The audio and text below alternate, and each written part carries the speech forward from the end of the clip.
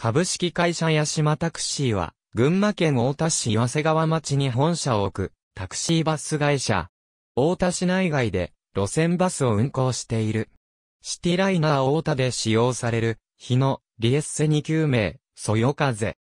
かつて、青空が運行されていた新田地域、小島地域も、太田市に編入されたため、そよ風に切り替わり、矢塚地域も合併当日より、運行開始となった。2014年4月1日現在、新田線、小島線、市内循環線の3路線が運行されており、新田線は、同日の改正での増発に伴い、大型ノンステップバスを中古導入している。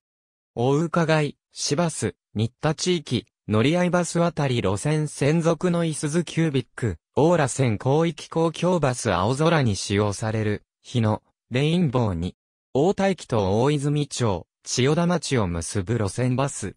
合併前までは、新田地域と小島地域にも運行されていた。日野自動車の中型ノンステップバスで運行される。大田シティシャトル500で使用される。日野、レインボーに。元関東バスの日産ディーゼル UA。自社導入車は貸切バスを含めて、日野自動車の車両が多い。中古導入車では、イスズ自動車や日産ディーゼル工業の車両も導入している。かつては、富士重工業製の車体を仮装した車両を導入していた。イオンモール、大田線のイスズキュービックは、東急バスから、シティライナー、大田新電線の日産ディーゼル UAA は、関東バスから、中古導入したものである。ありがとうございます。